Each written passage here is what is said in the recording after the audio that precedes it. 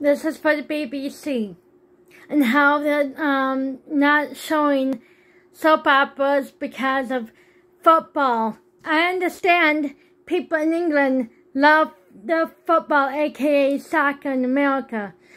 But honestly, why do we have to postpone episodes of EastEnders or Corona Street or Coronation Street or any other soap because people want to watch soaps on soccer or football. America doesn't do that. Not even for the Olympics.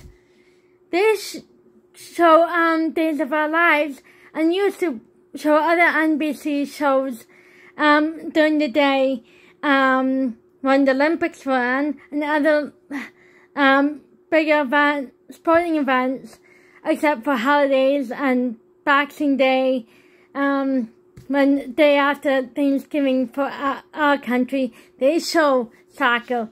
But that was during holidays.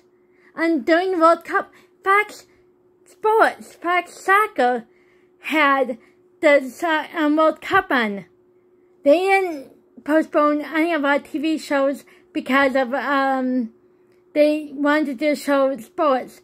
Have you ever um, heard of um, tape delayed? We have it.